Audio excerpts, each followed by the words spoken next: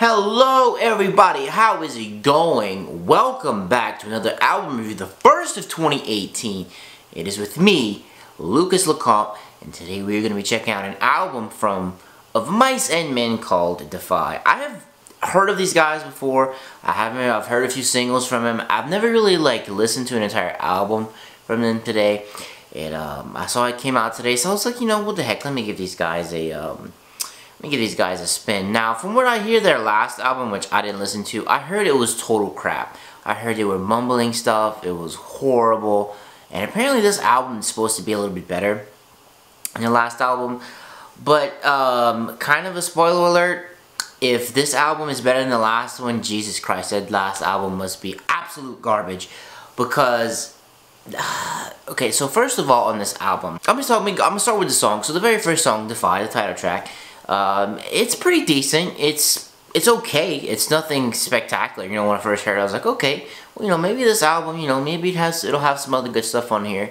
Um, the production of the songs is some of the worst production I've ever heard. It is so bad.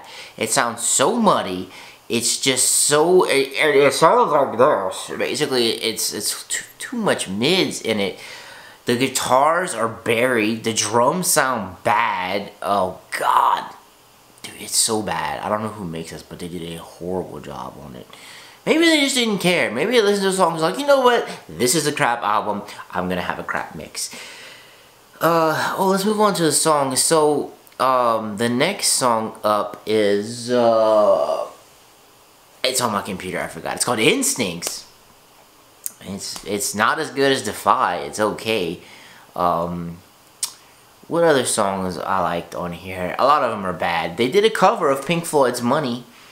Um, it's okay. It's not the worst Money cover I've ever heard, but it's certainly not the best. It's it's okay. I find just this album, it's just super mediocre and uninspired. It's just kind of like, oh, okay, here, here's some music. Man. Like a lot of the song, I mean, some of the slower songs on here are actually okay, but a lot of, some of them honestly sound like a, they sound like butt rock with screaming in them. That's what they sound like. It's just, oh, it's so bad. It's just so, like, it put me to sleep. It seriously did. It was just very, just bland. Forever Young Gun, I think is the name of the song.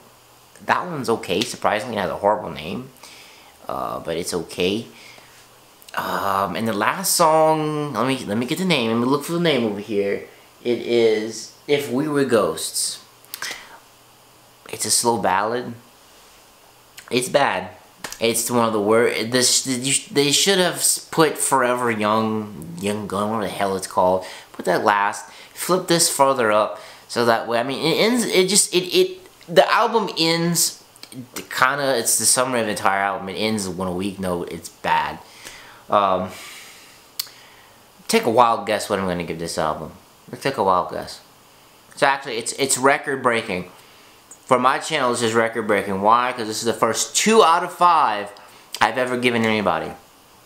I was going to give it a three. I was thinking about a three, but the more I listened to it, the more I was thinking, I'm like, this is some of the worst crap I've ever heard. The songs are bad. The production's bad. This is so mediocre. It's so, it's just, it's so lame. And look, I'm sorry if you're a fan of these guys. I really tried to like this album going in. I really gave them a chance. I'm like, okay, some metalcore vets.